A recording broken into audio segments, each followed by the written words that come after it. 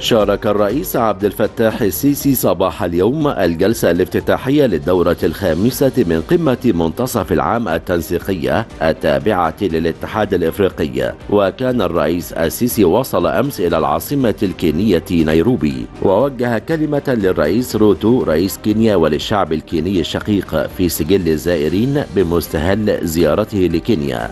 للمشاركة في القمة التنسيقية للاتحاد الإفريقي والتجمعات الاقتصادية الإقليمية.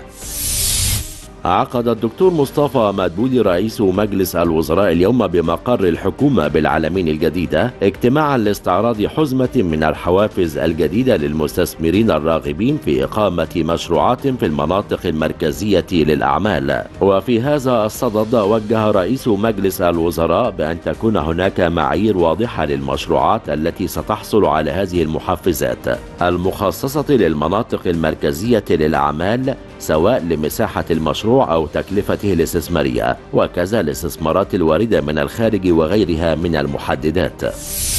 أعلن الدكتور خالد عبد الغفار وزير الصحة والسكان تقديم 447408 خدمات من خلال حملة 100 يوم صحة أمس السبت الخامس عشر من يوليو في جميع محافظات الجمهورية. وأوضح الدكتور حسام عبد الغفار المتحدث الرسمي لوزارة الصحة والسكان أن الخدمات التي قدمتها حملة 100 يوم صحة أمس تضمنت 14942 خدمة ضمن مبادرة الرئيس لدعم صحة المرأة في أول زيارة فيما بلغت الزيارات العارضة والمتكررة 36920 زيارة.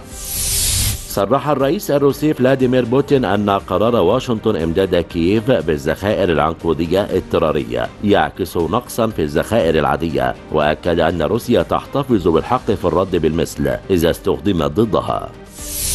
ظهر الدولي الإنجليزي ديكلان رايس نجم وست هام بقميص أرسنال بعدما تم الإعلان رسميا عن انضمامه للجانرز بعقد طويل الأمد حتى يونيو 2028 خلال فترة الانتقالات الصيفية الحالية.